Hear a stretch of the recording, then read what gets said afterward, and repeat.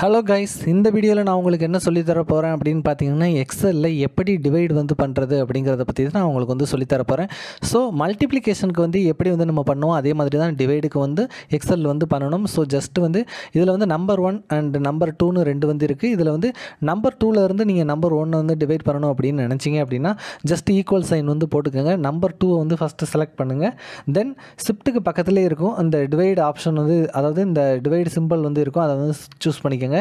தென் number ஒன்று வந்து press பண்ணுங்கள் தென் என்டர் வந்து ப்ரெஸ் பண்ணுங்கள் உங்களுக்கு வந்து ஃபோர்லேருந்து ஒன் வந்து டிவைட் ஆகி உங்களுக்கு ரிசல்ட் வந்து இங்கே வந்துடும் ஸோ ஜஸ்ட்டு நீங்கள் வந்து இதே ஆப்ஷன் வந்து அதாவது இதே ஃபார்முலா வந்து நீங்கள் எல்லா செல்லுக்கும் வேணும் அப்படின்னு ஆசைப்பட்டீங்கன்னா இந்த மாதிரி எல்லா செல்லையும் செலக்ட் பண்ணிவிட்டு ஜஸ்ட்டு வந்து கண்ட்ரோல் ப்ளஸ் டியை வந்து ப்ரெஸ் பண்ணிங்க அப்படின்னா எல்லா செல்லுக்குமே வந்து அந்த ஃபார்முலா வந்து வந்துடும் உங்களுக்கு வந்து ட்ராக் ஆப்ஷன் வந்து நான் ஏற்கனவே சொல்லி கொடுத்துருக்கேன் இல்லையா? அதை யூஸ் பண்ணி நீங்கள் வந்து சேம் ஃபார்முலாவை வந்து நீங்கள் எல்லா செல்லுக்குமே வந்து போட்டுக்க முடியும்.